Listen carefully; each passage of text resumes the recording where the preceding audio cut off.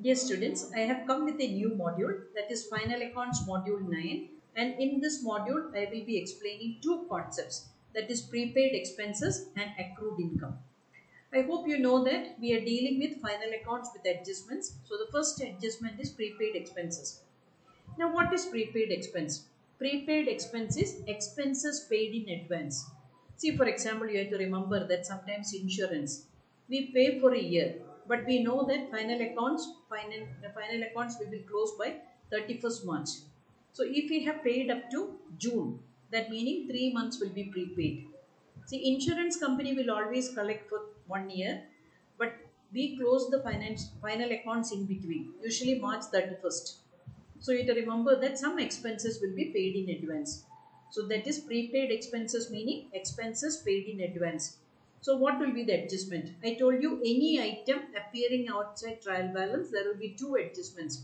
One is it will be subtracted from the item. That means insurance value if it's mentioned that prepaid 100 rupees prepaid. So that will be subtracted from the insurance value and the final value only we will take into the outer column. Then this what will be the treatment in the balance sheet? This will be an asset in the balance sheet because this we have already paid. Now let us see the first problem. From the following trial balance, prepare trading and profit and loss account and balance sheet of Mr. D as on 31-3-22. Capital 8274, drawings 2000, opening stock 4070, fixtures and fittings 4238, bills payable 536, bills receivable 476, purchases 11822 Sales 21,564. Discount allowed 446. Discount received 208. General expenses 384. Office expenses 148. Salaries and wages 1,652. Repairs and renewals 116. Lighting and heating. This is a direct expenditure. It should go to trading account 174.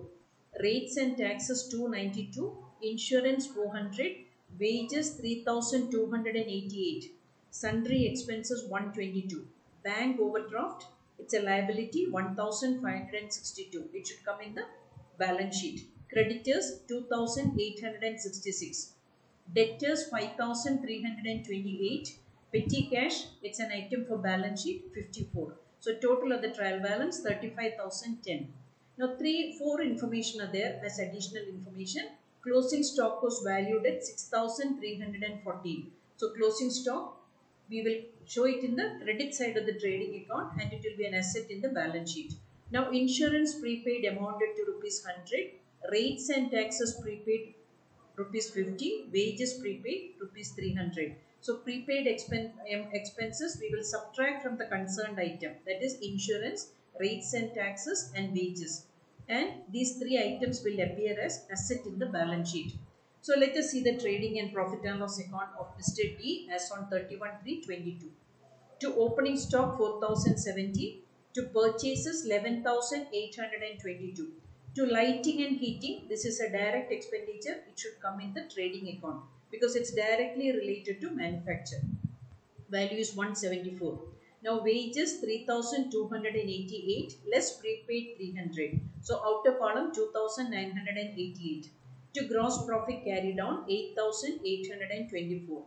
Credit side by sales 21564 by closing stock 6314. So total of the trading account is 27878. Credit side is higher so we are balancing and we are getting a profit of 8824. Now we will transfer this to profit and loss account. So by gross profit brought down 8824 by discount received 208. So total of the credit side is 9032.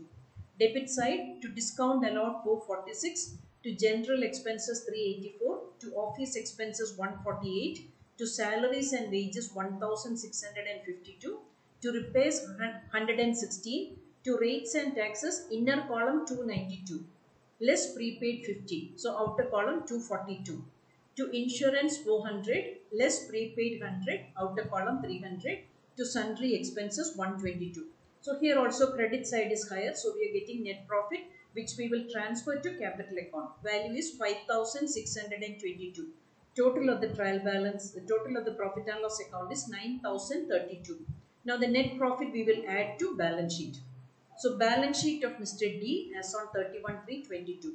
Capital 8274 and net profit 5622.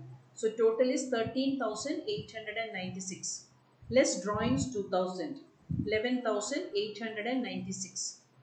Bills payable 536. Bank overdraft I told you balance sheet item 1562. Creditors 2866.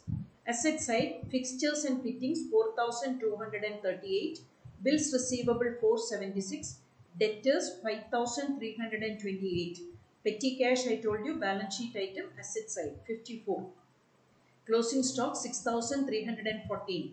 Prepaid wages 300. Prepaid rates and taxes 50. Prepaid insurance. So the three items we are showing it as, as in the asset side. Prepaid insurance value is 100. So total of the balance sheet 16,860. Now the second adjustment what is accrued income? Accrued income meaning income received, income we are supposed to receive but we have not received. It's yet to receive. So it's also known as income earned but not received. The best example is dividend declared by the company but not yet received. It will take time to reach us. So that is why it's an accrued income. Now what is the adjustment? It's added with the income and it will be an asset in the balance sheet. So let us illustrate with a problem. From the following trial balance of Mr. E, prepare the trading and profit and loss account and balance sheet as on 31-3-22.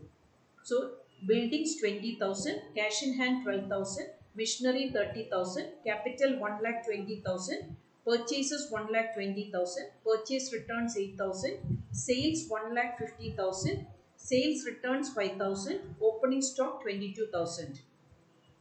Salaries and wages 15,000, carriage inwards 1,000, debtors 40,000, creditors 30,000, discount allowed 600, discount received 1000, investments 40,000, drawings 5000, commission 4000, that is commission received, that is why it's coming in the credit side. So it's coming in the credit side of the profit and loss account. Income tax 4000, interest received that also it will come in the credit side of the profit and loss account 1500. So total of the trial balance 3014 3 lakh 14,600. Now three adjustments. Closing stock is valued at 34,000. Interest receivable is 400. Discount receivable is 500. So closing stock, it will come in the credit side of the trading account and an asset in the balance sheet. Interest and discount receivable, we will add with the concerned item in the profit and loss account and it will be asset in the balance sheet. So trading and profit and loss account of Mr. E as on 31-3-22. To opening stock 22,000 to purchases 1 lakh 20,000 less returns 8,000 outer column 1 lakh 12,000. To carriage inwards it's a direct expenditure. If it's carriage outwards it will come in profit and loss account. Carriage inwards 1,000. Now credit side by sales 1 lakh 50,000 less returns 5,000 1 lakh 45,000. By closing stock 34,000. So credit side is higher 1 lakh 79,000. So when we balance, you will get gross profit 44,000. This we will transfer to profit and loss account. So by gross profit brought down 44,000 to discount receipt 1,000. So the adjustment is add outstanding 500, 1,500. By commission receipt 4,000. By interest 1,600, add outstanding 400, outer column 2,000. So to salaries and wages on the debit side 15,000, to discount allowed 600, to income tax 4,000, now credit side is higher that is 51,500. So we will balance and we will get a net profit of 31,900 which we will transfer to capital account. Now capital on the liability side 1,20,000 and net profit 31,900. So total is 1,51,900 less drawings 500. So outer column 1,46,900. Creditors 30,000 Asset side, buildings 20,000, machinery 30,000, debtors 40,000, investments 40,000, closing stock 34,000, accrued interest 400, accrued discount 500, cash in hand 12,000. So total of the balance sheet is 1,76,900. So in this module, we have learned two adjustments.